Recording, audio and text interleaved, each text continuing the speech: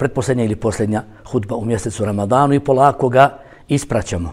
Polako ispraćamo mjesec Ramadana, čiju radost dolaska i tugu za odlaskom zaista osjećaju u bogobojazni.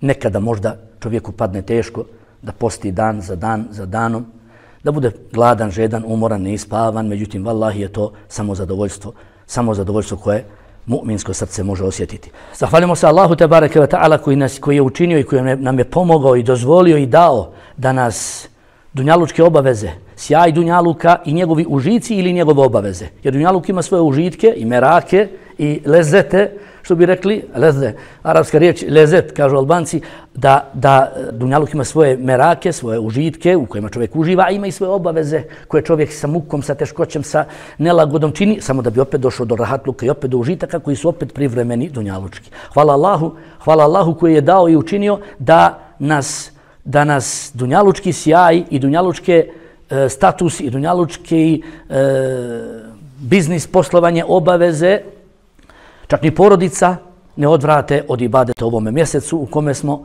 od ovoga mjesta i od ovoga što činimo. Suhih usana i suhoga grla, a skrušenih i zadovoljnih srca, inša Allahu ta'ala.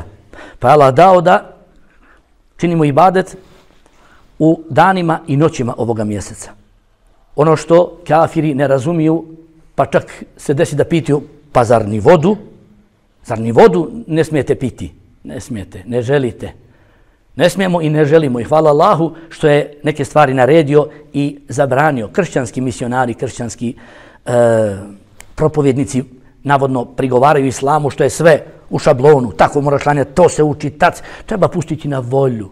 Pa su pustili na volju i onaj stoji u, stoji u molitvi četiri sata svake noći, a onaj drugi ide u crkvu jednom u, u, u 60 dana ili u, u mjesec dana žene u miniću i smatruju se kršćanima. O islamu je sve propisano jer Allah zna on i njegov poslanik sa selem koji je o tom obavješten od njega, šta njemu e, šta on želi od nas i kako ga treba obožavati. Hvala Allahu koji nam je dao svijest da mu činimo ibadet u ovom mjesecu.